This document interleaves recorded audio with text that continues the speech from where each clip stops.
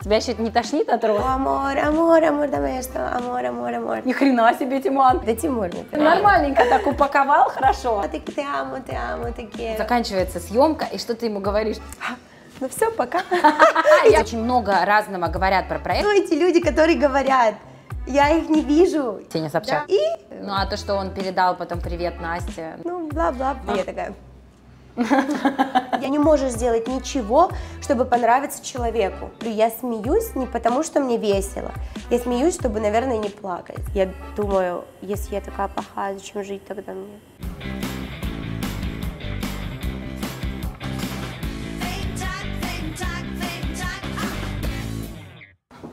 Привет! Ты понимаешь, да? Тебя еще не тошнит от роз? Слушай, уже у меня вообще красная роза ассоциируется с каким-то а, с какими-то нервами, шоком, типа получишь, не получишь. Ну ты спасибо. еще их не ненавидишь пока? Ну, если мне их дарит тот, кто и не дарит другим, Да. то, конечно, мне нравится. Но тебе тоже приятно. Спасибо.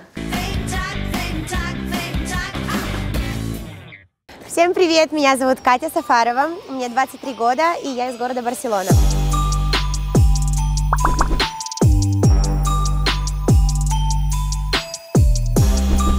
Наверное, я очень веселая, спонтанная, сумасшедшая иногда бывает.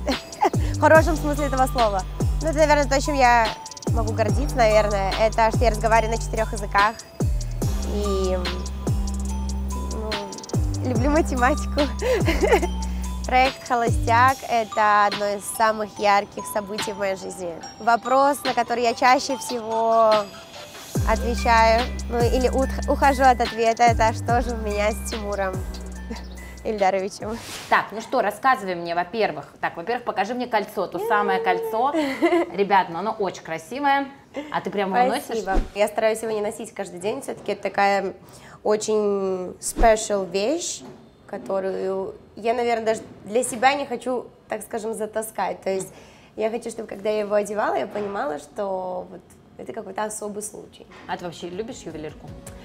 А, Да.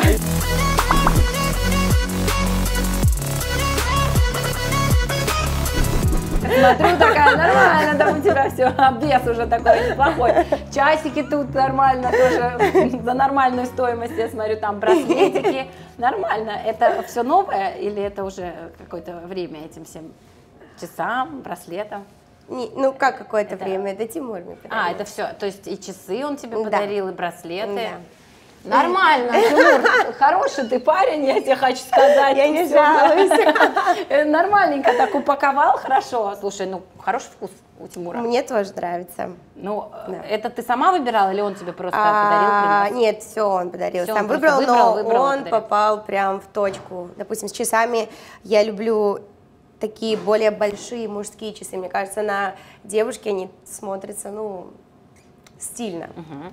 Ну, эти Вот. часы он тебе подарил после проекта или до? А, Во время. На Новый год. А, даже так. гравировка тоже. А есть. ты знаешь, я... О, покажи гравировку. Там написано «No hay rosas sin espinas». Это ты попросила его так или он сам нет, придумал? нет, он все сам придумал. И дата нашего Какой молодец вообще. Слушай, ну а когда девчонки тебя увидели в этих часах, ты приехала на проект? Они не а- видели, мы не А, виделись.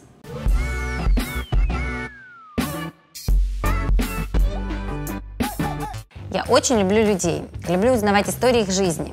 Каждый человек для меня особенный, и мне всегда хочется раскрыть его с новой, не всем известной стороны. А еще мне нравится наблюдать за тем, как на экране разворачивается захватывающая история героя сериала или кино. За последнее время вышло так много интересных сериалов и фильмов, и самое главное, что все их сейчас можно посмотреть, не выходя из дома. Что в условиях пандемии, согласитесь, очень удобно. Последние новинки я ловлю в онлайн-кинотеатре «Кион».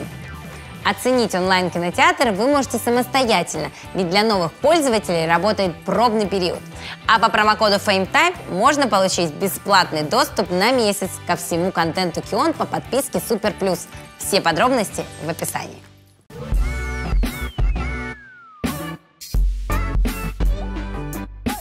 После Нового года мы поехали снимать финал в Дубай. А в Дубае нас разделили. Мы не жили вместе, мы жили уже не в на вилле, а в отеле.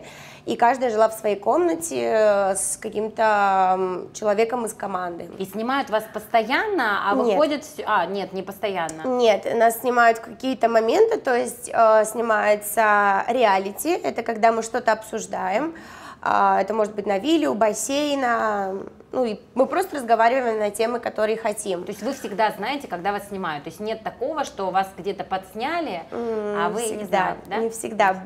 Есть, м, были такие моменты, когда а, мог человек а, с камеры подойти где-нибудь а, из-за угла снимать, и девочки не знали, что снимается. Меня Тимур украл на мотоцикле. Переодевайся. Пойдем. Ты издеваешься надо мной.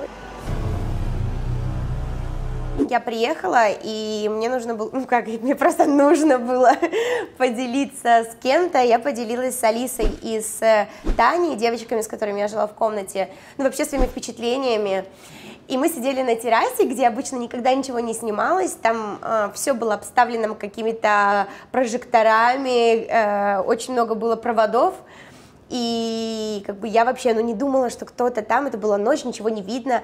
И потом я вот так вот оборачиваюсь, когда я, в принципе, уже все рассказала, и там стоят вот так вот из-за угла снимают. Тебя обучил вас вообще? Нет.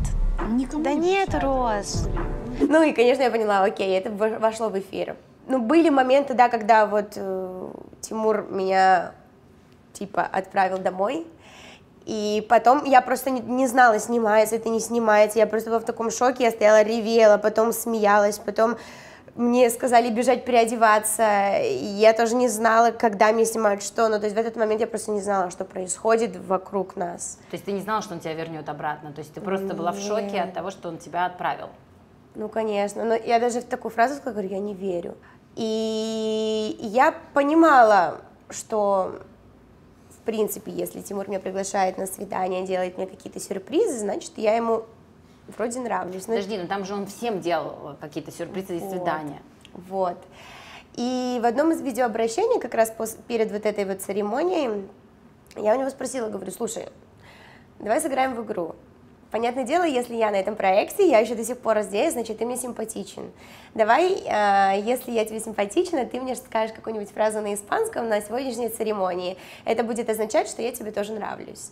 То есть он мне сказал фразу на испанском, э, то есть я поняла, что окей, я ему нравлюсь, значит, ну, все супер. И тут на следующей церемонии он отправляет меня домой.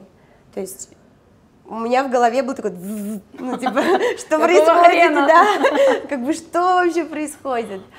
И потом я сажусь в машину. А он еще говорит такую фразу. У меня есть чувство. ко мне. И И поэтому, из-за этого поэтому ты все может плохо кончиться. Да.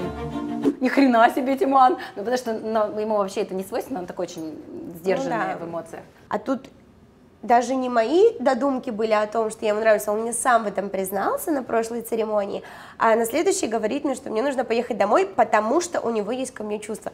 То есть мое состояние в этот момент э, было, ну, зашкаливало просто каким-то шоком, не- непонятием. И я ехала в машине, мне брали интервью о моих чувствах, как бы что я думаю, вообще что я чувствую. Там не вставили моменты, когда у меня просто начался истерический смех, и я говорю, я смеюсь не потому, что мне весело, я смеюсь, чтобы, наверное, не плакать. Ну, то есть просто потерянное состояние. И мы объехали э, вокруг этого отеля, и меня привозят обратно на виллу. И подходит Тимур и стучится, я такая... Я не буду выходить. Что это происходит? Ну вот, потом, конечно, я просто взорвалась, у меня слезы, сопли, я ничего не понимаю. Ну как после этого доверять можно? Вот если человек так э, сделал. То для- ты его спросила, для чего он это сделал? Это какая-то проверка была или что? Ну да, я спросила. Сначала я вообще думала, что, может быть, э, это было сделано для шоу. Он мне сказал, что он хотел посмотреть на, мои, на мою реакцию. То есть многие девушки, конечно же, не хотели уходить, но садясь в машину, говорили, ну, я желаю ему счастья, вот здоровья, как бы я не расстроилась. А Новый год, получается, вы все-таки вместе отмечали? А, а где это было? А, Он э, в 12 часов, он был со своей семьей, а а потом с позвонил мне, спросил, э, где я тоже была с семьей дома, но у меня как-то не было никаких планов. И он мне написал, говорит, что делаешь? Я говорю, да ничего, собираюсь спать. Он говорит, ну, давай встретимся, скинь адрес свой, и давай увидимся. Вот. Для тебя это было неожиданно? А, ну, я, я подозревала, потому что до этого вообще я собиралась поехать на дачу с, к подружке, она делала у себя на даче, приглашала друзей, они делали как нов- новогоднюю вечеринку. Вот, а я думала, что вообще Тимур уезжает на концерт, то есть когда мы общались. А потом он меня спросил, что ты будешь делать на Новый год? Я говорю, я собираюсь к подружке. Он говорит, никуда ты не поедешь. Я, в смысле? Он говорит, ну, не уезжай, пожалуйста. Типа, останься дома, побудь с родителями. Я сначала думаю, блин, почему я должна делать? Я хочу поехать к подружке, почему я должна сидеть? Ну, в принципе, у меня тоже так сложились обстоятельства, что я подумала, я не так часто праздную Новый год с бабушкой, с сестрой, и все-таки решила остаться с ними. Ну, и вот Тимур позвонил, да. А как и- бабушка и сестра здесь оказались? Они здесь живут, Москве? Да, да, да, да. А, То есть моя сестра и бабушка давно живут в Москве уже. Ну а вообще как это участвовать в проекте, где а, за сердце мужчины борется там энное количество девчонок? То есть, ну, в обычной жизни, да, там ну, такого, такой ситуации сложно представить себе. Ну, а пусть тут- борются. Ну, я к тому, да, ну, я к тому, что вот мне сложно себе, Не, ну реально это была моя позиция. То есть я ни за кого не сидела и не боролась. Ну, то есть я просто познакомиться с человеком. В реальной жизни тоже такое может быть. Просто девушки между друг другом не знакомы. То есть, когда у парень холостой, он может знакомиться и ходить на свидания с девушками. писать всем в Инстаграм, там. Да, ну то есть, я не знаю, ну Тимур, я не думаю, что кому-то в Инстаграм особо написывает, но это нормально, что человек холостой, он просто хочет познакомиться с девушками, он ходит там на свидание, пойти поужинать, пойти там организовать что-то, чтобы сделать девочке приятное. И... Не, ну там просто конкретно, там много девчонок, и все, и все в открытую говорят, мне он нравится, я там за, за ним, ну как бы за него типа борюсь. Ну из этой Ну серии. как можно бороться, вот именно вот эта концепция шоу, которая, которую и критикуют многие люди, она немножко неправильная. То есть ты не можешь бороться за чувства другого человека. Ты не можешь насильно понравиться, ты не можешь сделать ничего, чтобы понравиться человеку. Или ты будешь собой, и ему понравишься, или ты ему не понравишься. Но нельзя понравиться насильно никому. Это Чувствую- твоя позиция, я понимаю ее. Я имею в виду, что там все девчонки, ну, как бы разные, да, кто пришел с каким настроем. Кто-то вообще похайпить пришел, да, там, подписчиков прибавить. Ну, это я тоже не кто-то еще- осуждаю. Конечно, я То же есть, говорю. а почему это каждый- плохо? Каждый человек это работа Инстаграм, да. То есть, если кто-то пришел по хайпе, заработать себе подписчиков, чтобы в дальнейшем работать, лучше, чем сидеть на диване и жаловаться, что вот э, наше правительство ворует деньги, поэтому я бедный. То есть нет, делай что-то. Иди на реалити-шоу, ой, заним- иди учись, делай что-то, каждый делает все, что он хочет. То есть это супер. Ну То да, есть- ну это как бы считают, вот писали, вот я, например, сейчас тебе просто зачитаю, зачитание Хилькевич, может быть, ты читал ее пост, может, нет. А, вокруг очень много разговоров про шоу «Холостяк», я, честно, никогда не смотрела его ни одной серии. Я подумала, а почему? Как все почему? говорят. Да. А потом все почему-то знают про все сезоны. Почему мне никогда не было интересно это? Почему? А, Может быть, потому что, смотря на девочек, я могла бы испытать испанский стыд. Я спросила себя, смогла бы я принять участие в такого рода шоу? Я поняла, что нет. Для меня это выглядит как смотрины. Тут нужно продать себя. Девушка должна быть прям на максималках. Причем всегда. Максимум обаяния, сексуальности, где-то загадки, интересных тем для разговоров из своей светлой головушки. И типа все для того, чтобы понравиться парню. И как бы вроде ты должна просто быть собой. Но это ну прям практически невозможно во время Почему съемки невозможно? шоу. Я не знаю точно, что чувствует участница, но мне было бы адски дискомфортно и унизительно. Выбери меня, выбери меня. Это внутренний монолог девчонок-участниц. Ох, написала и стала прям не по себе. Может, я что-то не понимаю, но рейтинги и популярность можно получить другим путем. А про любовь я уже вообще молчу. Ну и тут дальше начали комментировать. Тут, тут Регина Тодоренко, потом отдельно Рита Дакота высказалась, там даже Рустам Солнце Ну да. Я высказался. думаю, то, что э, у каждого своя история на этом проекте, то есть каждый его проживает по-разному. То есть моя история, это была, если мне не понравится, меня же никто не заставляет там сидеть, я не хотела ему нравиться. То есть я не хотела ему насильно понравиться. Я хотела с ним познакомиться. Если я ему потом понравлюсь, Ну, а вдруг супер. ты, а ты не могла с ним познакомиться в других обстоятельствах, например, Как? не на шоу? Ну, я не знаю, ну как-то с ним встретиться где-то Где? через общих друзей в Каких? Москве. Ну, Я живу в. Барселоне, и я, у меня нет друзей в России, но сейчас уже есть, но не было. Я никогда не приезжаю в Россию. Я уже даже плохо говорила по-русски. Ну, может быть, написать А, в директ ему, сказать привет. Да что за бред? Ну что, я ему скажу привет, ну он ответит мне привет. И что?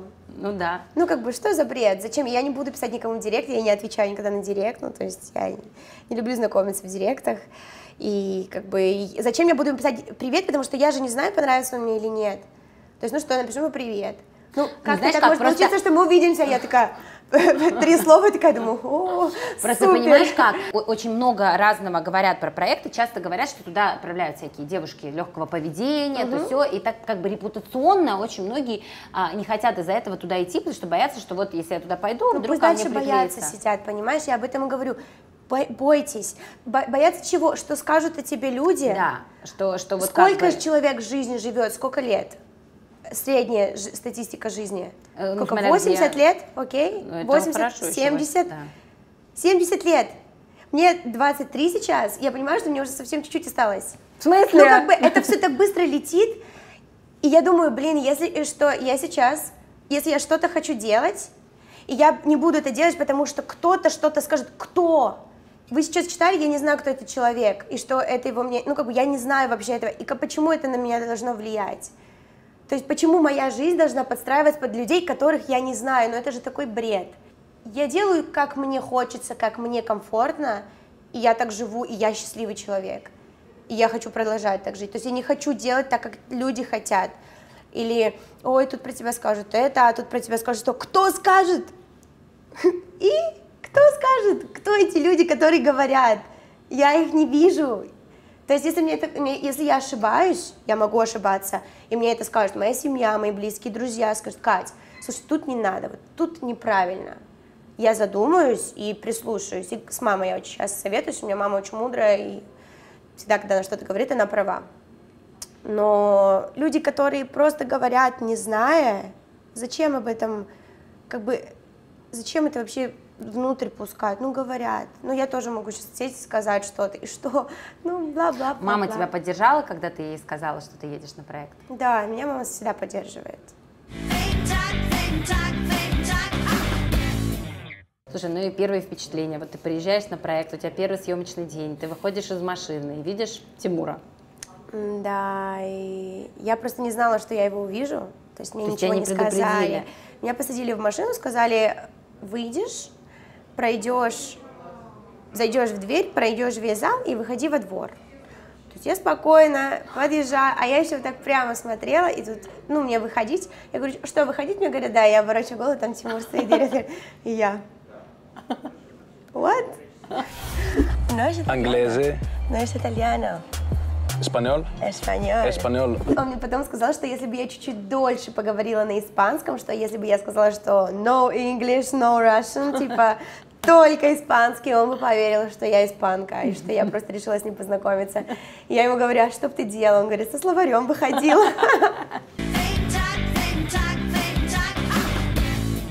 Какие были у тебя впечатления от девчонок? Вот ты к ним попадаешь э, в их компанию, они уже вроде бы познакомились, и ты как бы уже чуть позже туда, считай, попада- попадаешь. Ну, конечно, я волновалась.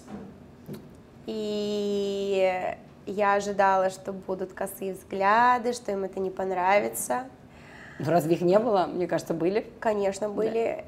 И я предполагала, что так будет. То есть я понимала, что никто не будет а, радоваться и аплодировать. О, круто, Катя пришла. С самого первого момента у меня такая мысль в голове промелькнула. Вот я увидела Адель, я говорю, я вот с ней буду дружить, я хочу быть ее подружкой. И вот так и случилось. Всегда к ней было хорошее отношение. То есть я ее всегда поддерживала. Э, Я даже когда я уходила на вот эти два дня, когда девочки думали, что меня нет в проекте, потом я пришла и видела, что Алиса немножко одна была. То есть девчонки как-то сплоченные были, и ну, я видела вот этот напряг, то есть я ее поддержала, я подошла к ней, потом говорю, Алиска, ты не переживай, все хорошо. Мы когда улетали в Москву, мы вместе были, сидели вместе. Ну, то есть я ее поддерживала всегда, вот. Поэтому а что-то потом поменялось? а, Ну, поменялось, наверное, как я почувствовала ее отношение ко мне после совместного свидания. То есть был очень больш... было большое напряжение на этом свидании, и ну, вот с ее Но стороны. она как-то, да, она как-то не скрывала, или это так просто сняли и Но она правда не скрывала, да. Но сегодня же ты не очень порадовалась, что настроя. Это правда. И даже не скрывала. Ну, были, да, какие-то такие мелочи, в которых я чувствовала очень непри... ну, не... некрасивое отношение к себе. Если ко мне некрасиво относятся, я не буду что-то делать в ответ, или буду пытаться перебить, или обратить на себя внимание. Ну, зачем? Слушай, ну а вот э, как ты думаешь, она поменялась э, в процессе проекта, или она пришла такой же, с таким же, не знаю, характером, также вела себя в начале проекта, как и в конце? Алиса хорошая девочка, то есть она эм, добрая, с ней интересно общаться. И она, знаешь, вот э, с, с нами она была чуть другой. То есть я же не видела ее свидание с Тимуром. И когда я смотрела передачу, то есть я знаю чуть другую Алису, то есть она веселая, она приколистка, она Да, дурачится, так да, да, она такая, то есть мы в комнате, когда жили вместе, мы постоянно включали музыку, что-то прыгали на кровати, танцевали там, а, наряжались, а, смеялись, то есть Алиса ну, слушали классная девчонка, вот, а, поэтому Ну да, показали ее, как будто бы она такая томная принцесса. Она просто и... с Тимуром, наверное, пыталась вести себя, вот контролируя себя. То есть, когда тебе, может быть, человек очень сильно нравится, ты хочешь ему понравиться и пытаться соответствовать. Я, на- наоборот, не такой человек. То есть, когда, если меня спросят, как понравиться человеку, я всегда скажу, будь собой. То есть, когда я, как я, я всегда нравлюсь всем. Когда я только начинаю что-то там задумываться, все, сразу это до свидания. Потому что нравишься ты человеку не потому, что ты умная или потому, что ты красивая и так далее. Ты нравишься, потому что человеку вот ты нравишься, и все, и он не может это объяснить, почему.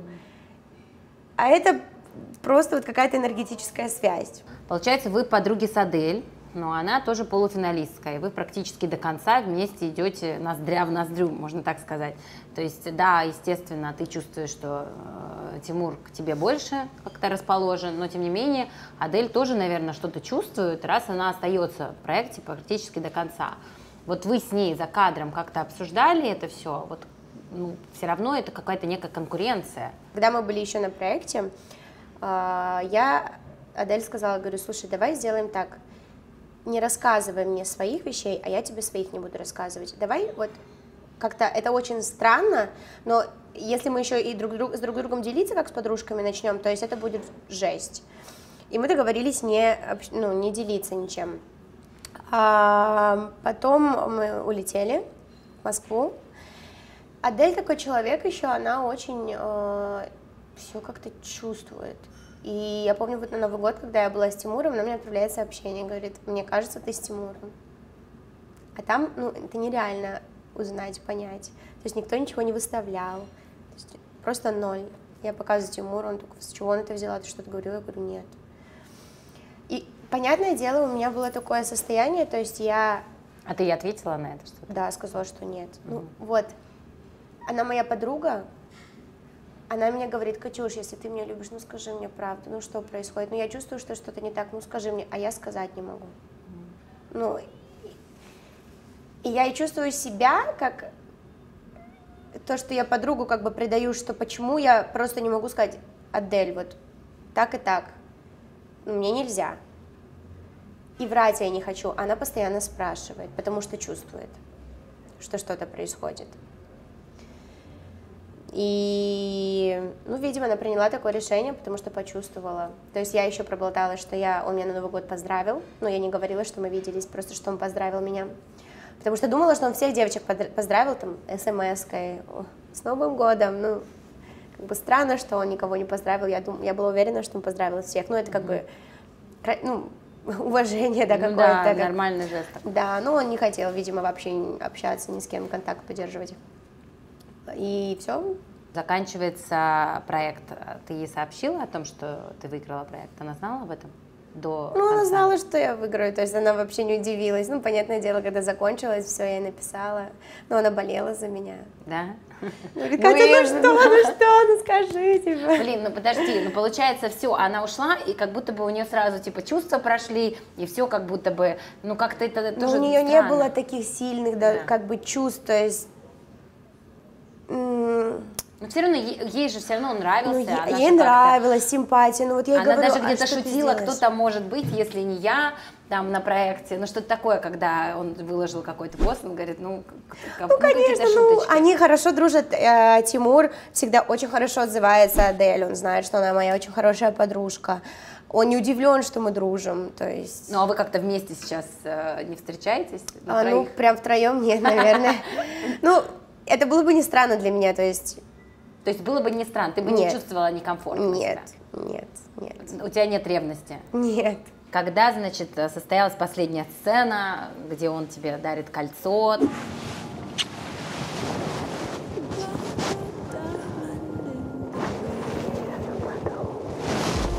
Ты там в шоке, плачешь, вот это все.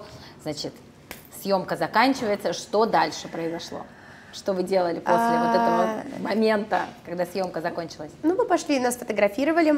Потом, когда уже все-все закончилось, все эти фотографии, мы просто переоделись, поехали поужинать. Ну, сначала я поехала, Тимур меня довез до отеля, я собрала чемодан, и потом мы просто поехали поужинать, потому что у меня утром было, был самолет, прям там рано-рано утром, то есть я не спала. А, и мы поужинали, просто посидели, он дождался того момента, когда мне нужно будет ехать в аэропорт, проводил меня, я поехала домой. Все так банально. То есть ни- никакого там фейерверка, не знаю, там романтического танцев и У каких-нибудь. нас были в- во всем проекте вот эти вот все романтические сумасшедшие фейерверки. Ну, подожди, ну вот- Просто хотелось посидеть спокойно, поужинать. Ну так подожди, ну вот закончилась, и ты такая, ну заканчивается съемка, и что ты ему говоришь? Блин, я опять в шоке, ты ему говоришь. я прикололась, говорю, «А, ну все, пока. И Тимур такой, и Тимур такой, ну так тоже могло было быть. Нормальное такое колечко, не дешевое, мягко говоря. Могла бы сказать, Да. да, парень, я пошла. Не, ну а, а на самом деле, то есть вы ты прикололась, вы поговорили, Да. ну а вот э, как бы ощущения какие вот были э, твои собственные? Я как-то, я очень хотела домой. Устала, да? Я очень хотела в Барселону. Я очень скучала за Барселоной. Я когда прилетела в Барселону, у меня вот так слезы на глаза, то что вот я, я сейчас слезы наворачиваю. Я очень скучаю за домом, если честно. Подожди, но он тебе тут, значит, практически предложение делает, выбирает тебя, а ты тут такая, «Бар- я хочу в Барселону, ну как-то, может быть, ты вместе с ним в Барселону, там, не знаю, про- А, провести с ним. Ну, я была бы не против, конечно, если бы он бы приехал. Но представляешь, какой-то русский человек, который живет в Испании, увидеть Тимура в Барселоне, даже одного. И что? Ну и что, Она что на в? Барселоне? А, вам нельзя, точно, понятно. Вот. Он летел, у него был запланирован отдых. После Дубая он полетел отдыхать с мамой, с дочкой. Ну, Тимур, мне, Тимур знал, что я очень хочу домой. Тимур знал, что я очень скучаю по маме, что я очень скучаю по дому, что мне нужно решать дела. Тоже мне что, работа, учеба в Барселоне. Вот, и он знал, что мне нужно поехать домой. Он говорит, ты езжай домой и решай дела. Ну, он так намекнул, делай все, что тебе нужно быстро. Он меня спросил, «А хотела бы ли ты прилететь, отдыхать с нами. И я сказала, что окей. Вы сейчас уже официально можете куда-то выходить, и, собственно, вы это сделали. Вы впервые Мгм, пошли и прошлись да. по ковровой дорожке Муз-ТВ. Как тебе?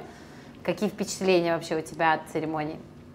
Мне понравилось, для меня это был эм, очень познавательный опыт, так как я человек, кто не живет в России.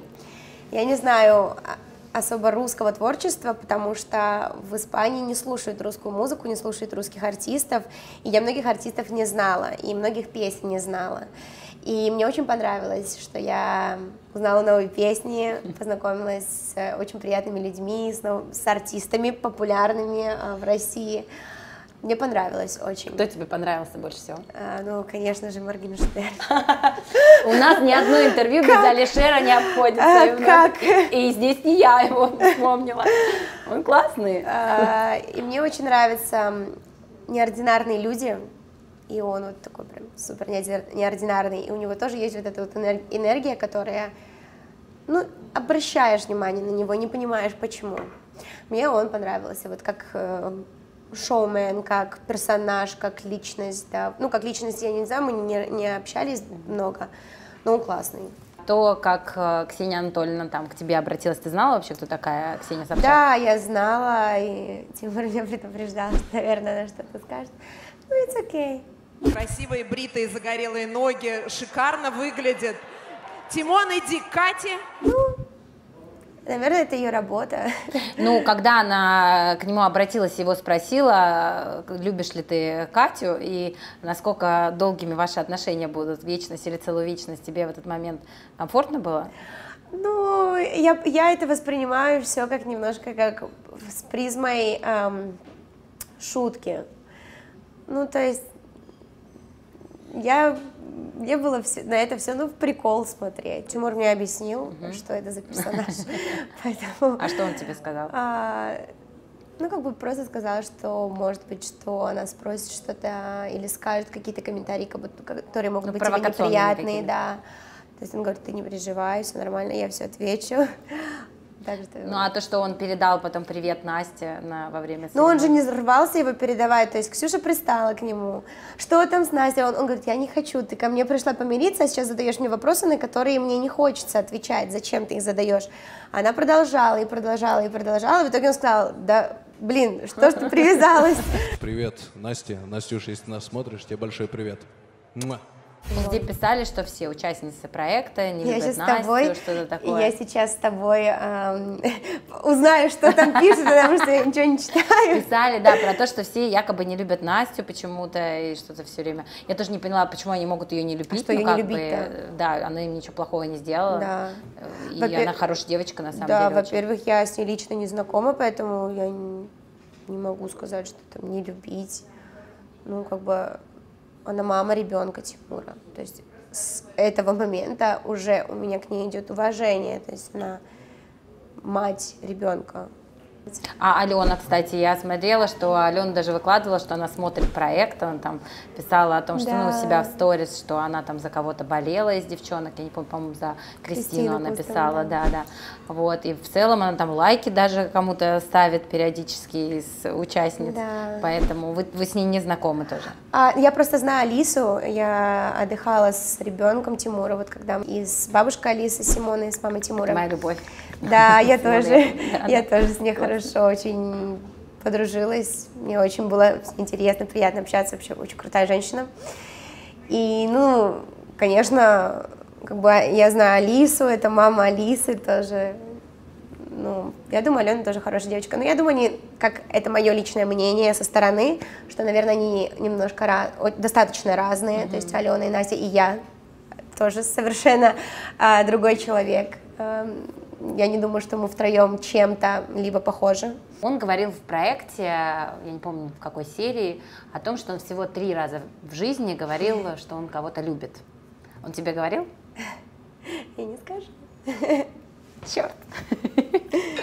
Ну, а ты, насколько ты к этим словам относишься тоже серьезно, или ты, в принципе, это слово ну, достаточно часто употребляешь. Что есть просто люди, которые очень часто говорят, я тебя люблю, и тебя люблю, и тебя, и тебя, и всех люблю. Я ну, просто такой такие... человек. Да, ты часто говоришь это слово. Я называю по-испански, когда разговариваю, а, я называю своих близких друзей, людей amor, то есть любовь. О, amor, amor, amor, dame esto, amor, amor, amor. И также я легко могу сказать, а, te, te amo, te amo, te quiero, te amo. Но... То есть ты такого глубокого смысла в эти слова не вкладываешь? Ну, смотря для кого, с кем я общаюсь. То есть если это мой молодой человек, то я не скажу ему там на второй день, о, te amo, то есть я понимаю, что человек может не, не понять это правильно. Смотря как с кем ты разговариваешь и какой ты сама в этот, этот смысл вкладываешь в эти слова. Но, конечно, сказать кому-то, что ты кого-то любишь, я не знаю, я говорила, что я люблю, но я не уверена, что я на самом деле кого-то вот именно любила. То есть... До Тимура или вообще? Я не знаю, что такое любовь просто. Я не, я не могу объяснить. У меня были токсичные отношения, и я думала, что это любовь, потому что я полтора года была психом, ну, реально out просто. А, это есть ты дало мне боялась бо- человека или что? Нет, нет, после расставания я А. полтора года не могла отойти, потому что ну, были бы манипуляции какие-то, было все очень токсично, было все очень-очень-очень плохо. И... Это за полтора года до э, проекта? Нет, это давно было. Закончилось отношения, когда мне было вот 19 лет. Мне сейчас 23, то есть давно. Такие мои первые серьезные отношения. Наверное, я бы не хотела больше так терять голову. То есть сейчас, наверное, я больше за сознательную любовь. Когда ты понимаешь и делаешь осознанно свой выбор, ты понимаешь, с кем ты, и ты узнаешь человека, ты не с головой прыгаешь в отношения и забываешься и это все происходит быстро, и ты не контролируешь. Нужно, я думаю, познакомиться и узнать человека хорошо, чтобы потом сказать, что ты реально любишь этого человека, что ты ему доверяешь. То есть сейчас для меня, наверное, любовь в отношениях немножко другое. Ты хорошо уже знаешь Тимура? А, но я думаю, я в процессе. То есть я не- мне предстоит еще очень долго а, узнавать его. Он непростой человек. Он взрослый человек, он с прошлым человек. То есть, наверное, ему проще. Я очень открытая. То есть я то, что видишь. То есть я Ну, не- может, не ему это и в тебе и нравится? Не знаю, наверное. Он всегда говорит, ты другая, ты очень другая. Не как, м, не знаю, просто другая. Вы вместе живете? Нет. Почему? Ну, ну я же говорю, все свое время, зачем? Это, это было бы неуместно. Но вы еще вместе, правильно я понимаю, что вы не расходились? А, да. Ну, потому что очень часто, естественно, говорят, что многие пары расходятся еще до окончания проекта, потому что проект же снимают Это заранее. тяжело, так это далее. очень тяжело. То есть, да, мы, правда, эти все, все время не виделись, там, мало общались. У тебя супер чувство, потом это, с этим человеком тебе нельзя видеться. Ну, даже я, мы летали с ним отдыхать вместе после проекта, там, через несколько недель. Этого нельзя было делать, но Тимур все равно меня позвал, пригласил. Но потом он был в Москве, в Москве, понятное дело, нам нельзя видеться. Ну, в Я соцсетях там вычислили все равно, что вы вместе были, там даже кто-то стал выкладывать. Ну, вот это когда мы отдыхали месте, вместе, да, из-за да, каких-то да. птичек в каком-то углу. Да. Я очень следила, чтобы ничего не выложить, а, чтобы было похоже, там, чтобы у нас не было, не, не- было непонятно. Но вот, да. А как ты приняла решение переехать в Москву? Ну, я это планировала уже, как бы я понимала, что, наверное, мне нужно будет э, переехать в Москву, там, что у меня работа здесь сейчас. А Если бы я сейчас была в Испании, у нас бы не было возможности сидеть так прекрасно общаться. И, конечно, здесь сейчас у меня много работы, поэтому мне нужно быть здесь. То, что ты переехала сюда, а, это все-таки как-то связано с Тимуром или больше с Нет, работой? С работой. То есть, когда я переехала, мне еще все равно с ним видеться было нельзя. Ну, то есть, ну, конечно, то, что я живу в Москве, это намного проще. Потому что у меня просто спец э, отношения на расстоянии, у меня всегда отношения на расстоянии, я, в принципе, уже привыкла постоянно куда-то летать, постоянные самолеты, я просто живу, наверное, в, аэропор- в аэропортах, в аэропортах, в Да, аэропортах, в в аэропортах. И, да, мне удобнее, что я сейчас в Москве, ну, для общения с ним. Да, вот для, потому что у него же все-таки там гастроли. Понятное дело, что сейчас не такой гастрольный график, насыщенный в связи с карантином и всем остальным. Все артисты там гораздо меньше ездят. Но тем не менее, они все равно ездят, путешествуют постоянно везде и всюду. Если ты на расстоянии и совсем редко видишься, мне кажется, что вот поддерживать все-таки Ну да. очень сложно вот этот настрой. Ну, знаешь, когда хочется, тогда все можно и все делается. А Тут вопрос в том, если тебе это нужно, если тебе это хочется. Ну, тебе сейчас хочется? Ну да, Ты счастлива? да.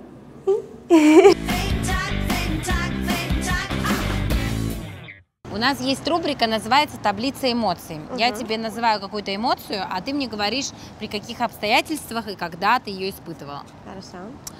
Удивление. А, удивление. А, а сегодня мне отправили, кстати, сегодня мне отправили очень крутой а, кастинг. А, То есть на- очень рада. ты будешь какую-то пробу, ты будешь А, да. какие-то пробы делать? Пробу на, да, на, на фильм. Я была приятно удивлена. А, то есть просто так, внезапно? Да, Ты не ожидала? нет. То есть ты никуда заявки не подавала, тебе просто прислали? Нет, нет, да, просто менеджер мой сказала, что меня приглашают на кастинг. Это на какое-то большое кино? А, вроде да. Я просто не успела даже еще узнать, что и о чем там, но вроде очень крутой фильм. Сколько подписчиков а, к тебе пришло а, благодаря проекту «Холостяк»? Ну, у меня было где-то 900 тысяч до Мгм. проекта, сейчас миллион девятьсот. То есть миллион То есть человек. миллион человек, да. Мне кажется, это больше, чем у всех остальных участниц. Да. Ну, Ну, это понятно, я думаю, почему. Нет, по- почему? Ну, не знаю, я же победила все-таки. Ну и что? Ну, на самом деле мне очень приятно. То, что я вижу очень много сообщений, которые мне люди присылают. На улице меня останавливаются и говорят, мы болели за тебя, Катя, мы болели за тебя. Ну, мне очень приятно, А часто Это- подходят к тебе? да. Ну, Ну, когда я прям- иду по улице или в каком-то общественном месте, да. В какой момент ты почувствовала, что тебя узнают, что ты вообще как бы становишься популярной? Ну, я просто это уже пережила в Испании, то есть мне это не, это не что-то новое для меня, но, наверное, вот когда я приехала в Москву, проект уже э, показывали э, по телевидению, и, и я чувствовала, что люди на меня смотрят, некоторые останавливаются. Ну это после какой серии? То есть это вот условно... Ой, я не знаю, я не часто хожу в какие-то прям супер публичные места, поэтому я не могу сказать. Бессилие. Нет такого у меня, не чувствую никогда. Я танк, который никогда без сил не остается. Влюбленность. Сейчас? Так, одиночество. Я не чувствую одиночества. То есть даже когда я нахожусь одна, мне нравится быть одной. То есть даже мне нужно быть одной. Какой, какой-то какие-то моменты. Трепет. Трепет. Не скажу. Не скажешь? Так, там какая-то интересная ситуация. Так, удовлетворенность. Удовлетворенность. эм, Я всегда получаю удовлетворенность после тренировки в спортзале. То есть я когда хорошо потренировалась, у меня тело настолько эмоциональное состояние, настолько удовлетворенное, я хорошо себя чувствую, у меня прям такой заряд энергии сразу. Я, кстати, тоже люблю это ощущение. Друзья, занимайтесь спортом. На самом Да. деле это реально полезная вещь. Мы, кстати, сейчас скоро придем в спортзал, чтобы показать вам парочку классных упражнений. Отвращение. М, Я ходила в спортзал и забыла тапочки, чтобы пойти в душ. И мне пришлось идти на носочках, и мне было не очень приятно по грязному полу идти, ну да, босиком. Так, ну что, мы подошли, по-моему, к э, нашей студии, где мы будем сейчас заниматься спортом, между прочим. Кстати, я тебя, не, я еще хотела посмотреть, как у тебя записан э, Тимур в телефоне? Тимур Юнусов. Прям так, официально? Ну да. Почему? Я, про- я всех записываю по именам, имя, фамилия. А, да? То есть у тебя нет такого любимый, пупсик, мупсик? Нет. Нет? Никого так не записывала никогда? Окей, ничего интересного, друзья. Ну что, и пошли. Ну, мало ли, слушай. Мне кажется, Тимур был в шоке, если бы я его подписала как пупсик. Сама ты как можешь э, о своем детстве, счастливый период твоей жизни, Да. твое детство, Да. да? А, Я родилась в Хабаровске, и я прожила в Хабаровске до 11 лет. Я очень люблю Хабаровск. Ну, я там давно уже не была. Наверное, он меняется в лучшую сторону. Но это очень красивый город. Давно очень это сколько ты не была? Ну, лет 10. Ты, получается, в 10 лет переезжаешь э, Ну, мне было там Барселону. 11-12, что-то такое, да. Я не разговаривала по-испански, я не разговаривала по-каталански, я пошла в каталанскую школу, все преподавание было на каталанском, дети на улице разговаривали по-испански. Я помню, была история, когда ко мне, мне было 12 лет, и ко мне подошла какая-то девочка и спросила, ты хочешь поцеловаться вот с тем мальчиком? То есть в Испании, типа, это было нормально. И мне было 12 лет, я выпучила глаза и говорю, нет, ну, почему ты меня такое вообще спрашиваешь, почему я должна с ним целоваться? И а, все начали смеяться над этим мальчиком, что это был как будто как публичный отказ ему меня, не знаю. И, и потом этот мальчик э, стал настраивать класс против меня, он говорил, что мне завышают оценки, потому что мои экзамены вначале были немножко другие. То есть эм, Мне разрешалось не излагать мысли, там, допустим, схемами, а не а, и, и в письменном а, виде. А, он это, он против всего этого протестовал. А, Я помню, был такой момент, был классный час, и этот мальчик встал а, с другой еще девочкой, и они вышли ко всему классу, и они сказали, что а, вот, поднимите руки, кто против Кати, потому что ей завышают оценки и так далее. И да, был такой момент. И И, и чем это все закончилось? Я научилась разговаривать, и больше никто со мной, больше со мной никто не, не стал ругаться. Ну, то есть я человек сильный в этом плане, я никогда не расстраивалась, я никогда не жаловалась. Я помню, ко мне учительница после этого классного часа подошла, и вот так трясло, она говорит, Катечка, Катечка, все хорошо, с тобой все в порядке? И я говорю, да, ну, а в чем проблема должна быть? И она так удивилась. Я говорю, нет, все хорошо я, мне нормально. И потом, через год, я помню, этот мальчик делал какой-то, какую-то вечеринку, по-моему, это был его день, день рождения у себя дома, он делал там вокруг бассейна какой-то, а, типа, я не знаю, Тусовку. тусовку, там, еду, сок, что-то такое. И он ко мне подошел и говорит, «А, Катя, вот я хочу пригласить тебя на день рождения, все такое. И я так на него посмотрела, говорю, ну ты вообще в своем уме, как ты меня приглашаешь на свой день рождения? Он такой, а что? Ну, типа, почему нет?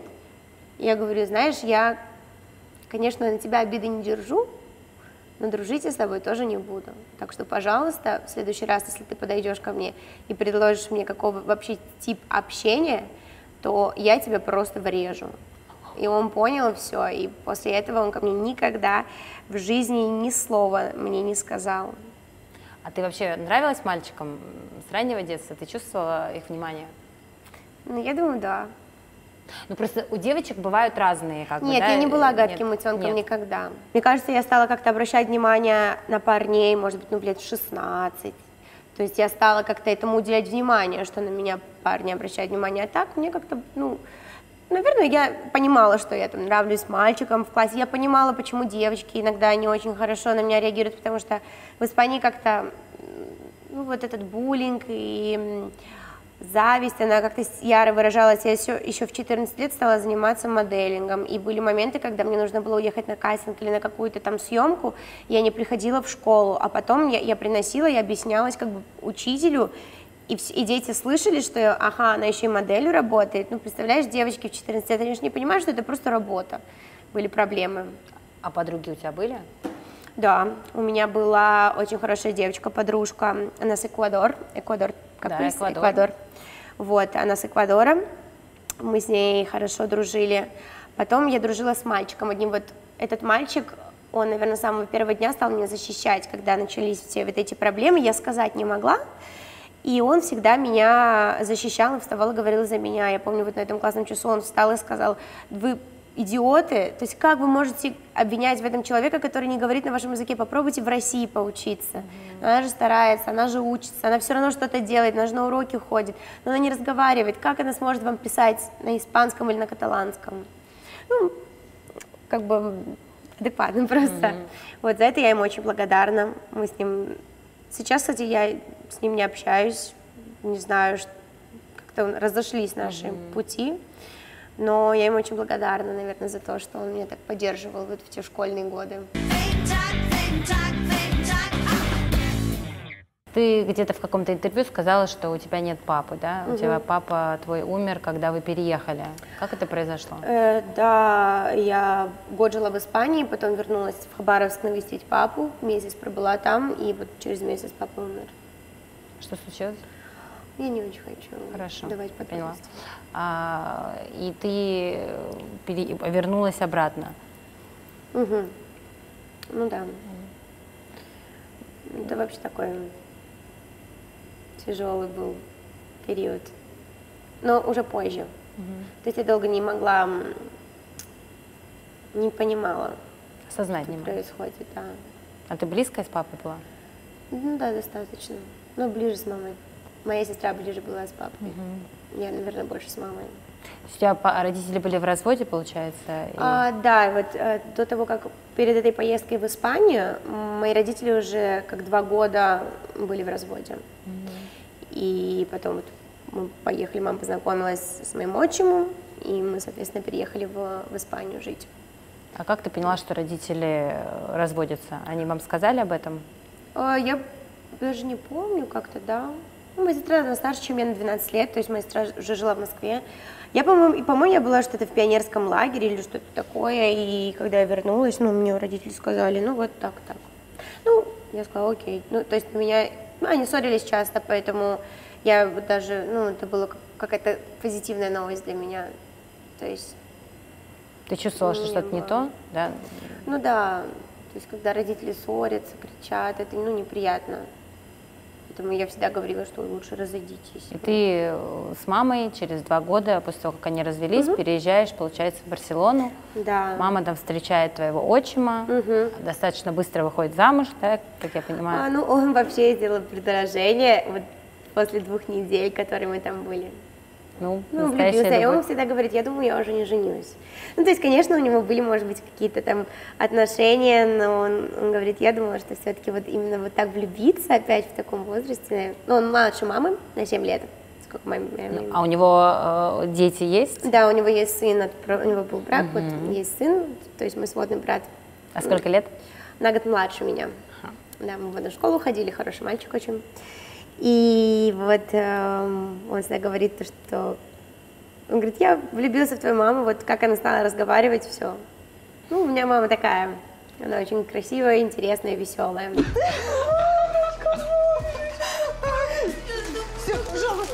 Мама выходит замуж, ты переезжаешь, и вот это у тебя новая жизнь, Испания, Барселона, школа, в которой ты пытаешься адаптироваться. В какой момент ты все-таки поняла, что, блин, мне тут нравится, это супер город, Барселона, я здесь хочу там, знаю, жить. Это было еще до того, как мы переехали. А, да? Я помню, первый день мы приехали в Испанию, нас встретили наши друзья с аэропорта, и мы ехали к ним домой, и мы едем вот так по трассе, и я смотрю в окно, и у меня всю дорогу не покидала меня мысль, я буду здесь жить, я буду здесь жить, я буду здесь жить, я буду здесь жить. Я была уверена, что мы будем там жить уже в тот момент. Не знаю, бывает такое вот, знаете, как в голову засядет. И все, и то есть, когда даже мама мне сказала, что мы приезжаем в Испанию, она боялась моей реакции, что я скажу там, нет, я не уеду. Я такая, а, да, окей. Мама, что? Как так? В какой момент ты стала там популярной? То есть, получается, у тебя начали подписчики, да, Э, прибавляться? Да, это как-то все было а, потихоньку. То есть у меня вот как-то набралась какая-то моя аудитория до 100 тысяч. Потом я участвовала вот в шоу испанском. А что это за шоу В котором я даже как бы особо не появилась, но почему-то я очень понравилась людям. У меня, у меня очень много как-то ажиотаж на меня случился. Вот не знаю почему. А что это за Наверное, реалити такое? Это а, типа Дома 2? называется, Нет, нет, нет, нет, совсем другое. Называется Isla de las Tentaciones. То есть а, туда приезжает пять пар. Это остров а, чувств, да? Э, или да, тента- э, нет, остров искушения. Искушения, а, да, и получается, туда приезжают пять пар, их разделяют девочек в один дом, мальчиков в другой, и девочкам, соответственно, подселяют 10 парней, а мальчикам 10 девушек. И там происходит то, что... И там как жесть. бы, да.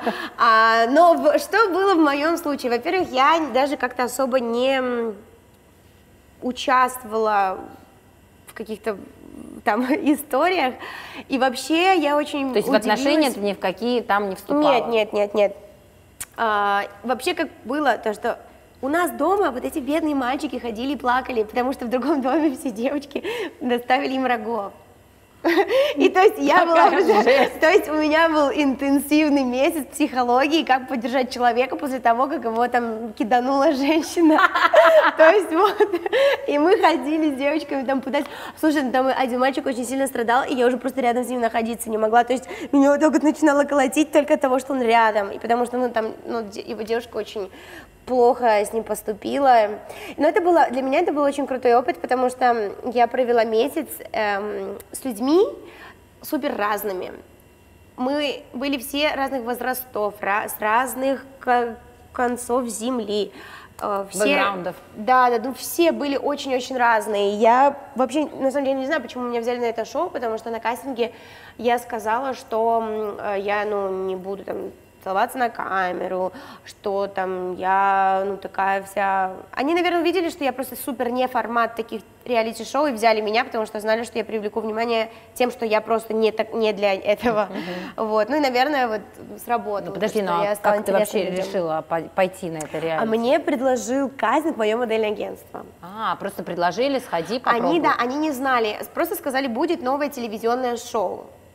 И спросили, интересно тебе, сходи на кастинг, потому что э, когда я пошла на первый кастинг, я не знала, о чем шоу. То есть я просто пошла, и я думаю, ну окей, если мне потом не понравится, а, о чем шоу, то я откажусь. Но я понимала, что, видите, в реалити-шоу, что круто, что у тебя есть всегда выбор, как себя вести. То есть я понимаю, что да, наверное, что выгодно программе, это то, что девочка будет ходить соблазнять мальчика, у которого девушка, но я не, никогда не буду так делать. Ну, то есть это не моя история, поэтому я всегда как бы была бро-френд и ходила там всех где-то, поддерживала Да, просто. поддерживала всех и просто, не знаю, И То есть вся Испания тебя загорала узнала. там. То есть да. вся Испания тебя узнала благодаря этому проекту. То есть после того, Да, как ты вышла после- из него. В Испании это был вообще жесть, потому что здесь люди хоть как-то, не знаю, может быть, более скромные и как-то контролируют эмоции. То есть один раз был день рождения моей подружки, мы пошли с ней в ночной клуб, ну, с нашей группой подружек, и мне пришлось, меня вывели из этого клуба охраны, потому что меня вот так вот на- за руки вот так начали люди таскать, и чуть меня оторвали руку, там э, резинки, э, у меня были резинки так, для волос, просто на руках начали стягивать резинки, все вот так начали визжать, это был какой, это просто был какой-то ужас. И мне пришлось выйти, уйти оттуда. Ты зарабатываешь на Инстаграме сейчас? Ну, конечно, у меня большая аудитория. Ты давно начала на нем зарабатывать? Да, В какой момент? наверное, года четыре назад. А, то есть уже прилично. Ну да. Но это произошло после того, как ты стала участницей реалити-шоу в Испании? Да до этого, до этого у меня не было, ну, у меня было, может быть, 100 тысяч подписчиков аудитория. А как ты такую аудиторию заполучила? А вот это не знаю. Просто... Ну, органично как-то люди подписывались, но все равно у меня были какие-то красивые фотографии, может быть, модельные. Там а, в каком-то девятнадцатом году, по-моему, есть фотография с Неймаром, а, где ты написала «Happy birthday, love». И там все пишут «Какой love? Что такое за love?» Почему там был love? Объясни, пожалуйста. Не знаю, просто так захотела подписать. Ну, вы общались, как я понимаю, да? А, ну, мы же на фотке вместе Ну стоим, да, ну значит, вот я и наверное, спрашиваю, это да. не монтаж. Не, ну знаешь как, ну может быть ты просто подвалила к нему где-нибудь на вечеринке, сфоткалась А, и нет, выложила? это, это, было, это было его день рождения, это вечеринка закрытая. Ну, вот я и спрашиваю, значит, вы общались? Да. Да. Ну, вы встречались или просто общались? Все задают этим вопросом. Ну, не знаю. Короче, Вика Одинцова, я не знаю, знаешь ты или нет, она была у нас э, в программе тоже. И, значит, она рассказывала про то, что она тоже общалась с э, Неймаром когда-то, какое-то время назад, но как-то там что-то несерьезно, там что-то, что-то. Она рассказывала, что он просто пишет в директ. э, Ну написал да. как-то. Ты, ты с ним тоже в директе познакомилась? Нет, нет, я не А. знакомлюсь с директором. Ну, мало ли, А, слушай. Особенно с Неймаром. А, нет, э, я, я не знала, кто он такой. То есть, ну, я просто реально прям дно футбола. То есть найдите человека, который не знает ничего про футбол, это я. И э, у меня подружка дружила с его, как бы, с, можно сказать, сводным братом. Она тоже в Барселоне жила, они познакомились, когда он еще в Барселоне играл, как-то не помню, как они познакомились в компании. И мы летели с ней в Париж. Она живет в Лондоне, я живу в Барселоне. Нам э, Париж был как э, точка... место- э, место встречи, Да, да, да, да, чтобы не одной и лететь, Да. да, и не другой. Мы решили поехать в Париж. И как раз ей написал вот этот брат, типа, а, круто, будешь в Париже, супер, пиши. Вот, и в какой-то момент а, просто а, он пригласил нас, говорит, слушайте, мы ужинать едем э, домой к Нею, к Нею, он делает ужин, Хот- хотите приехать? Мы такие, ну окей, поехали поужинаем. И все, и так мы познакомились с ним. И ты даже не знала, что он какой-то крутой футболист. Ну, я мне сказала подружка, слушай, это вот а, там, футболист, я, ну круто. И Ну, все. И начали общаться. Ну да. Ну, классный он. Он очень хороший парень, очень. Он очень веселый. Я вообще люблю людей из Бразилии. И благодаря ему я познакомилась, вот у меня одна из моих лучших подружек, она с Бразилии, это его подружка детства, мы как раз вот на этом ужине с ней познакомились, просто эм, они прилетали его навестить, и у него была компания друзей с Бразилии, его близких друзей из... Э, там, со школы, ну, прям с детства, с детства. Они как раз были у него дома на ужине, вот, и я с ним познакомилась, с этой девочкой, я очень хорошо до сих пор дружу. И да, было весело. Ну, они очень веселые, они танцуют, они ничего не стесняются. Я обожаю таких людей. Мне такие люди, такой менталитет намного ближе. Mm-hmm. То есть не думать там кто, что, чего, им пофиг. Ну, вы сейчас общаетесь, как-то поддерживаете отношения? Ну, конечно. Ну, то есть вы, типа, в хороших отношениях? Да. То есть может тебя в следующий раз опять позвать на свой день рождения? Да, он каждый год зовет. Да? Конечно. Ну, то есть вы как-то очень грамотно... Если он не позовет, получит. А, даже так, да? Ну, конечно, блин, что за прикол. Я еще видела у тебя фотография с Антонио Бандерасом. А, да, это мне там сколько лет, наверное, 16, 17. И мне выпала такая честь а, поработать с ним. Мы, да, снимали парфюм, мы снимали рекламу парфюма для парфюм Антонио Бандерас называется, по-моему. Да, да, там у него парфюм есть есть. Вот, мы снимали рекламу на съемочной площадке, и в какой-то момент все начали у него просить фотографию, а я, ну, как-то постеснялась. А потом он на меня смотрит говорит, он мне всегда какие-то вопросы задал. А ты откуда? А ты, а ты что, танцами занимаешься? Молодец. Потом там э, была его, я не знаю, если жена девушка, вот, ну, они долго уже времени вместе, Николь, по-моему, зовут, очень красивая. И он, Николь, иди сюда, смотри, какая девочка хорошая, смотри, то, смотри, все, мне было так приятно, все так стояли, смотрели вокруг. Я думаю, блин, почему это происходит? Вот, потом он сам мне сказал, иди сюда, давай сфоткаемся вместе. А, то есть он Да, сам предложил. Да, я, я подсела, нас сфоткали. А с кем ты еще знакома из западных звезд? Я не знаю, я Много с кем? Ну да. Ну как? Все друг друга. Нет, ну это не, нет, это, это Ну, не русский, норма для русский, России. наверное, шоу-бизнес, он просто закрытый такой. Ну нет, я бы не сказала, что если ты, конечно, в нем уже вращаешься, вы все друг с другом общаетесь. Но, судя по всему, ты тоже часть шоу-бизнеса, просто как бы испанского. Правильно я понимаю? Ну Можно да, так сказать? да, наверное, да. потому что ты как бы там популярна, известна. У них, в принципе, мне кажется, очень мало таких суперзвезд. Да, В там, Испании намного, намного, очень много. Просто в России люди не... Как... эм, Россия, как будто ее в пузырь посадили, и они ничего не знают. Типа весь мир слушает музыку сейчас латинскую, испанскую, Да, конечно. регетон. Мы тоже любим. То есть здесь никто не слушает, никто не знает артистов, которые я могу сказать. Подожди, мы сериал «Элита» все знаем, все смотрим. Ну вот, да, испанский сериал «Элита», да. Это ты что, это супер хит вообще, все его да, обсуждают. да, да. Но я имею в виду про музыку, допустим. не Музыку слушают. тоже все любят, латино, ты что, в России Как- обожают. одного певца, который ты знаешь испанского. Ну, хорошо. Латино, окей, латино-американского даже, легче тебе А, сделаю. ну вот этот а, чувак такой ты сейчас сейчас скажешь популярный. сто процентов одного, которого единственного знаю здесь. Нет, ну подожди, ты мне скажи, я скажу, что я знаю. Малума. Ну, конечно, это вообще суперзвезда. Малума просто это любовь моей подруги. Она мне, она мне вынесла с ним Джей, мост. а Джей Балвин, а, а Росалия, а Анита, э, кто мне еще нравится, Ники Джам, а, Бекки Джи, а, Сейчас я тебе тоже Просто назову. их очень Сири, а ты- много. А ты, знаешь Хаски? А ты знаешь а, Скриптонита? А скриптонита знаю. Ладно. Цепи, цепи, цепи на шее, поцелуй. А ты знаешь? Лы, лы. Нет. Ну вот, все, мы квиты. Ты говорила о том, что ты хочешь стать ак- актрисой. Да. да. Что ты для этого сейчас делаешь? И был ли у тебя вообще какой-то опыт актерский? Да, ам, я занимаюсь актерским мастерством, наверное, с лет 17. Я ходила в разные курсы, на разные семинары. Сейчас я занимаюсь коучем с Лос-Анджелеса, то есть всегда раньше я занималась на испанском языке ам, актерским мастерством. Сейчас я занимаюсь на английском языке. Ну, хотя она мне иногда говорит просто один и тот же текст делать на языке, каком я хочу. То есть, ну, у меня четыре выбора есть, какой хочу, такой и делаю. Я должна была сниматься в крутом сериале в Испании. Я помню, я прошла кастинг, эм, меня позвали уже персональный кастинг, то есть чтобы я вживую меня увидеть. начался ковид, все закрылось, а, мы очень долго ждали, я не получала никакого ответа, потом я смогла приехать в Мадрид, меня увидел директор а, кастинга и а, продюсер этого проекта.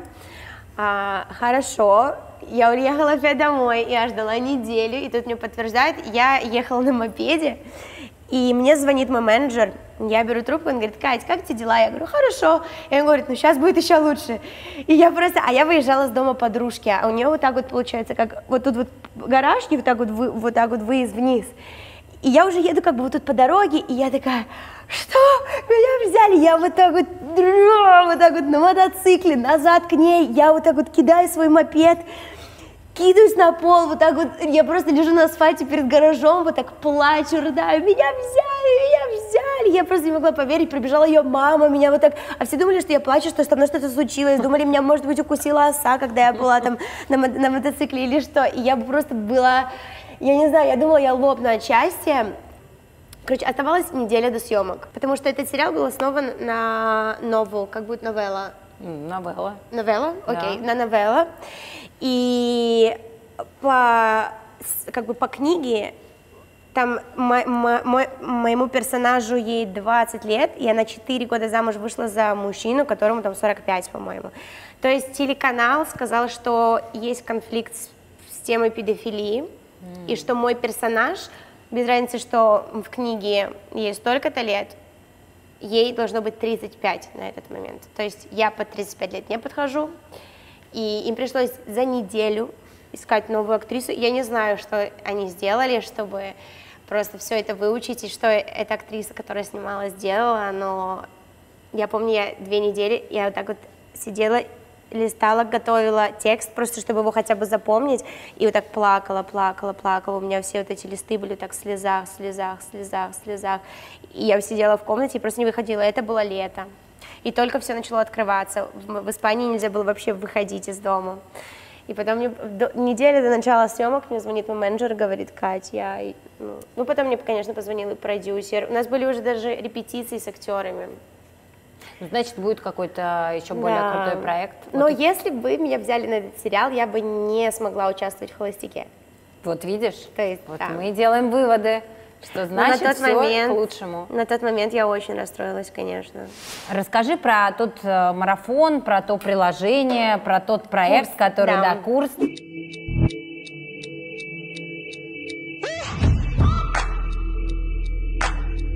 Ты запустила буквально недавно, и его так активно промоутируешь у себя в соцсетях. А, да, этот курс, вообще такое мое дитя, этот курс мы создали а, с- в Испании год назад.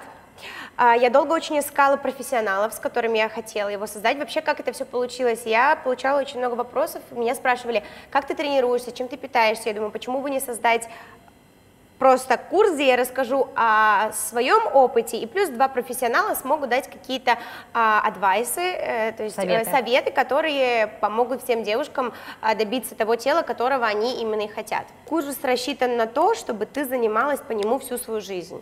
Он, и он так, собственно, и организован. Потом есть гигантский раздел питания, где тебе не скажут, там, тебе нужно кушать то и то, потому что у всех людей вкусы разные. Там есть даже блок для вегетарианцев. То есть советы для вегетарианцев, как нужно питаться. То есть э, с помощью этих советов ты адаптируешь свое меню, зная и уже начиная употреблять пищу с головой.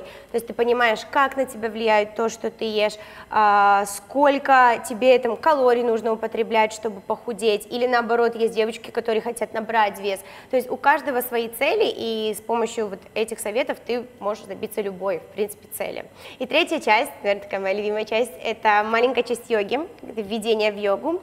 И плюс там я еще рассказываю о том, э, вообще, как важно организовывать свой день, как важно чувствовать себя хорошо, как можно с помощью правильного образа жизни вообще добиваться всего, чего ты хочешь. Слушай, ну покажи нам несколько любимых упражнений твоих. Я Давайте, в том числе я- попытаюсь это все повторить. Я могу вам показать свое любимое упражнение на, угоди- на ягодицы. О, Его можно выполнять, нужна да, его можно выполнять а, с резинкой. Это будет более сложным. М, Как будем делать, с резинкой или без? Давай поищем, здесь есть резинка? Можно без. Давай без И резинки, будем но делать будем без иметь в виду, резинки- что можно с резинкой. Облокачиваемся на локти. Ого! Ногой наверх. Раз. Это сильное упражнение, друзья, я согласна. Ставим ягодиц 8, 9, 20. И сейчас оставляем ногу наверху и пружиним 50 раз. Раз, два, сейчас надо мной? Я... А не, не, не- не опускай так сильно, держи ее в напряжении и наверх пяткой. Раз. Потом встаем и делаем махи в стороны. Раз, два, три. Обязательно делать это без остановки. Вы поняли, да, друзья? И машем. Сейчас я вспотею И три наверх. раза. Оставляем наверху. О, подожди. Я халтурю, потому что у меня все болит. Я делаю это без паузы, с резинкой и три круга. То есть 20 махов, 50 пружин, 20 махов, 50 пружин, отдыхаешь, следующая нога. Короче, Итак, друзья, и после этого у вас жопа как орех, обещаю. Я тоже вам обещаю. Так, молодец. Это, кстати, классная штука. И главное, эм, не крутить тазом. Ну все, вы поняли, друзья? Ты сказала, когда мы сидели в ресторане, о том, что у тебя были сложные отношения, вот эти абьюсивные. Ты сказала, что у тебя там... а, Мы не абьюсивные были, мы просто были маленькие, сумасшедшие, какие-то влюбленные два психа. Это друг твои другу. первые были какие-то отношения, Да. да, получается? А сколько тебе было Да. лет? 18, э, мы встречались год, это с 18 до 19 лет. Больше нас, на больше нас не хватило. Ну, испа- испанец, да, мальчик? Да, он был испанец. Ну, знаете, когда все так, мы очень странно познакомились, все так было быстро, такие какие-то сумасшедшие чувства.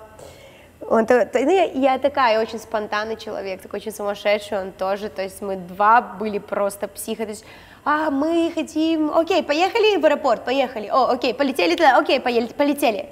А у тебя с собой документ? Да. А вещи, да, без разницы. Потом что-нибудь придумаем, найдем. А где спать? Да, без разницы, поехали, все, мы едем.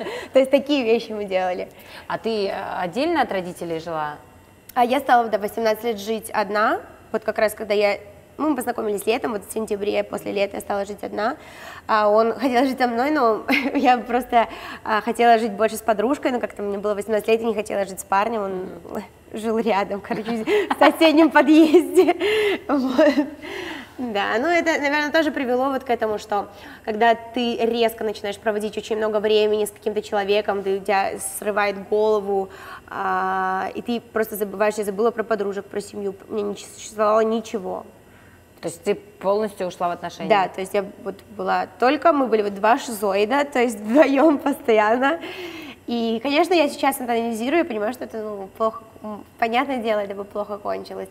То есть я помню, был- были такие моменты, что все-таки прошло там какое-то 4 месяца, и я такая, ага, у меня же еще есть подружки, с которыми я тоже хочу проводить время и куда-то сходить.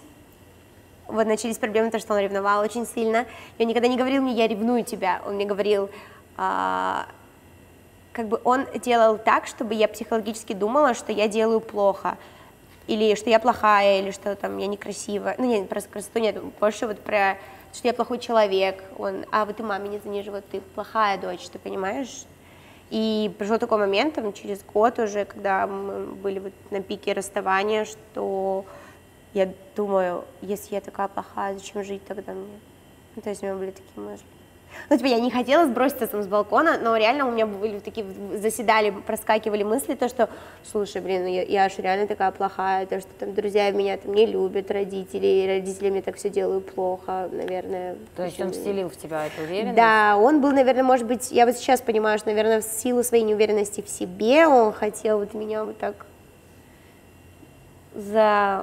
загнуть и, Прогнуть и забрать. Но м, не тот я человек, наверное. Ну, то есть, вот у нас были вот эти бои с ним, знаешь. Ты в итоге кого. ушла от него? Ну да, мы, ну, мы так расстались, то есть это было такое, там, трагедия, что он просто приехал в другой город, потому что мы не могли жить в одном городе. Когда ты маленький, ну, молодой и без опыта, ты не, у тебя нет каких-то критериев, которые тебе важны, то есть ты просто почему говорят, что первая любовь еще такая сумасшедшая? Потому что ты не думаешь, ты просто вот что чувствуешь, что и делаешь. А сейчас, конечно, уже существуют какие-то стандарты, которые, ага, это, это, это, это. А что для тебя сейчас важно? Неисчислимый список. Что для тебя сейчас важно в мужчине? Ну, как, самое важное, конечно, чтобы я чувствовала этого человека, чтобы он мне нравился. Но мне очень важно, я думаю, все уже по этому интервью поняли, что я достаточно амбициозный человек. И я не, ну, как мне нужно, чтобы меня уважали как личность, уважали мою работу. Это тяжело. То есть я хочу быть актрисой. Я публичный человек. Это тяжело. Так же, как, допустим, для меня тяжело иметь отношения с человеком, который публичный. Когда два публичных человека, это еще сложнее. То есть хотя бы когда один, то ты просто свою личную жизнь не показываешь, и это как-то не- люди не, не, не так сильно роются. Я понимаю очень хорошо сейчас, почему тяжело отношения после программы продолжать.